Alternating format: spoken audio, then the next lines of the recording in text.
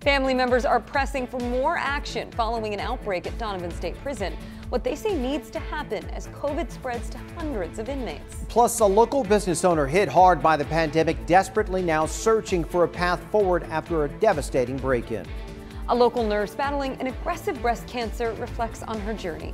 In our season of hope, she shares her resilience and strength and her effort to find happiness.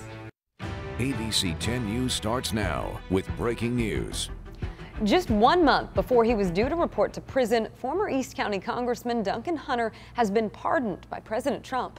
Good evening. I'm Lindsay Pena. And I'm Steve Atkinson. President Trump announced the pardon just late this afternoon. He also pardoned another former Congressman, Chris Collins, who is now in prison for wire fraud and lying to the FBI. Late last year, Hunter pleaded guilty to stealing hundreds of thousands of dollars in campaign donations for his own personal use. Congressman Darrell Issa, who succeeded Hunter in the House, said in a statement, quote, I'm pleased that all of the Hunter family can spend this Christmas together with a fresh outlook on life.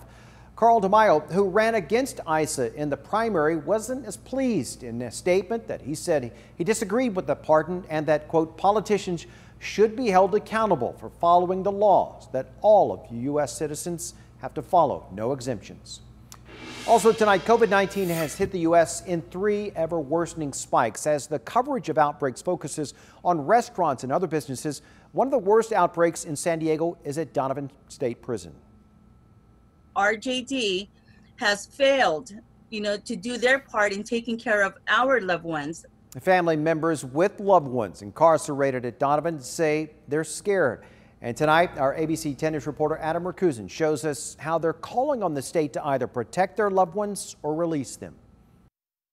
My husband is, you know, um, he has an underlying condition, stage four cirrhosis. I would hate for him to pass away because of COVID. Frustration, anger, fear, just some of the emotions Mary Estrada is feeling. Her husband, Robert, is an inmate at the Richard J. Donovan Correctional Facility. He called me back on the 18th to let me know that he had tested positive for COVID. That was the last time Mary's heard from him. I'm about to cry. It's just, um, this is so disheartening, you know? The number of cases at the facility has exploded this month. Numbers from the state show there are 600 active cases in custody. That's more than 16% of the prison's current population. Of the confirmed cases, 448 of them are new in the past 14 days. The CDCR says they are immediately responding with coordinated efforts around testing and contact tracing, along with isolation and quarantine measures to migrate the spread.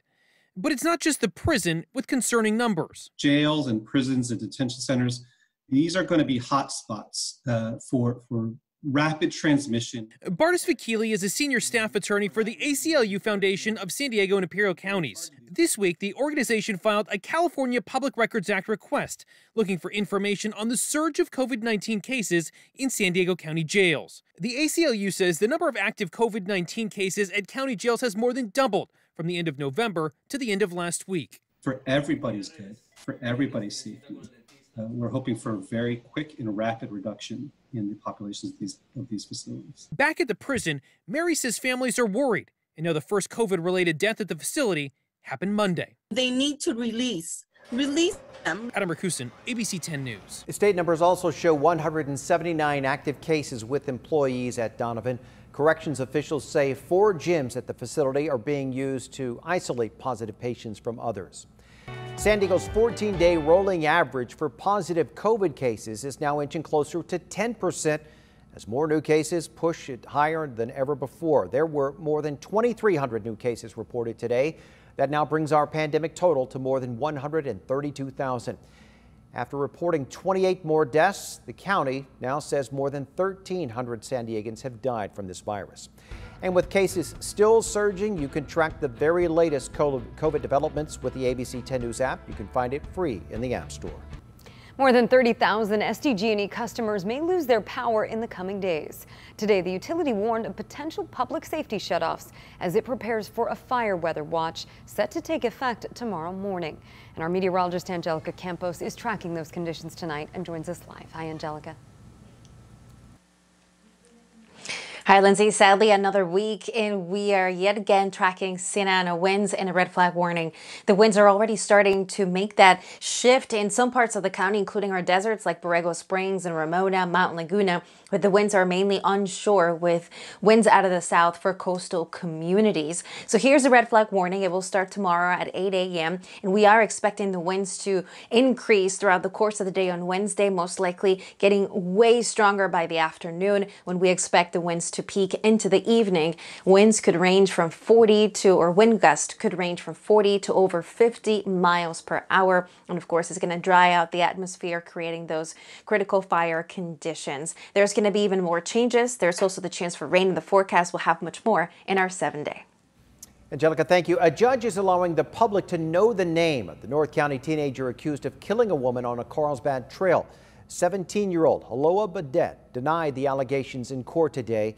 And as our ABC 10 News reporter Jennifer Kastner learned, detectives do have surveillance video of him leaving the crime scene. New surveillance images were revealed in a virtual court hearing Tuesday for the teen suspected of stabbing Lisa Thorborg on Hosp Grove Trail in Carlsbad in November. The judge said 17 year old Haloa Bodet's name could be revealed, but his face must be blurred. The prosecution painted him as a rule breaker. A photo of the teen appearing on a missing person alert earlier this year in Hawaii, where prosecutors said he used to live and ran away from school. Detectives said this surveillance camera image shows him running barefoot on the street away from the park at 11:25 a.m the day Thorborg died. We feel that she was, um, or she died at about 11:10 a.m.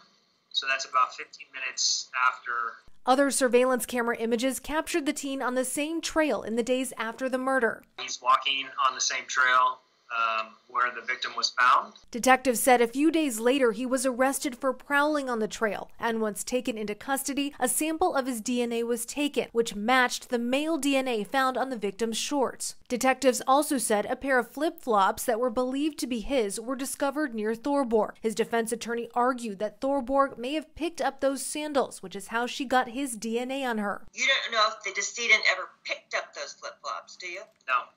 So the decedent could have picked up that pair of flip flops, correct? The teen's attorney said there's no motive for a murder. His grandmother told the judge he has no history of violence. The judge decided the case can move forward. Jennifer Kastner, ABC 10 News. A driver accused in a deadly hit and run crash in Fallbrook says he didn't do it. Pasquale Pasquale was arrested three days after the December 10th crash that killed 60 year old Simone Conley.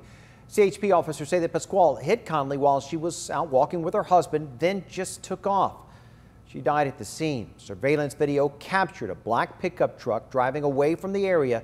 Investigators say that Pasquale sold the truck involved in the crash before he was arrested.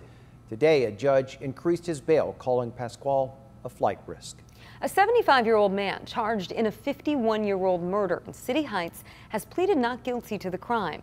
John Sipos appeared before a judge for the first time since his arrest today.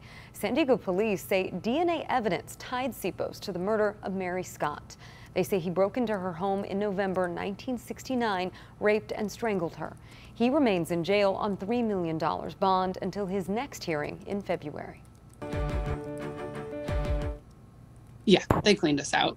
Yeah. Definitely a punch to the gut. A college area business owner is at a loss after burglars broke into her shuttered salon. As ABC 10 News reporter Michael Chen explains, the holiday surprise could be crippling for a salon barely hanging on. Just before 6 on Sunday morning, video shows someone at the door of the closed up Do Beauty Boutique on El Cajon Boulevard. You can hear the door being pried open for several minutes before the burglar lets himself in. Another intruder soon follows. Flashlights shining, they go shopping for more than 20 minutes before ripping down the camera. Gut wrenching, like just trying not to cry. Tiffany Schaff, who opened the salon three years ago, sent us video of the mess they left behind. They cleaned us out. Definitely a punch to the gut. Shelves full of retail hair products gone, along with tools of the trade, flat irons, blow dryers, scissors. The thieves even took drawers to carry out their haul. The total loss, including property damage. They actually busted my door frame. Now at $3,000 and climbing. Schaff has insurance, but even the deductible is a hardship. It has been very trying. It's definitely been month to month situation on whether or not we'll continue. The salon now in its third shutdown of the pandemic. Yearly revenues down about 75%. We're bleeding out our pocket. We're talking there's $100 left in the salon account. So, and we've cleared my savings. An emotional Schaaf. I just keep persevering and um I'm going to try to do that the best I can. Vows to fight to keep her salon open, but it's getting tougher every day. And this break in just dealt her even more pain. At what point do we continue to, you know, take a hit on a personal level for a business? But it's also my dream. Michael Chen, ABC 10 News. It's so hard to watch. Anyone with information on this case is asked to call Crime Stoppers. A GoFundMe campaign has also been set up to help the salon recover. There is a link on our homepage.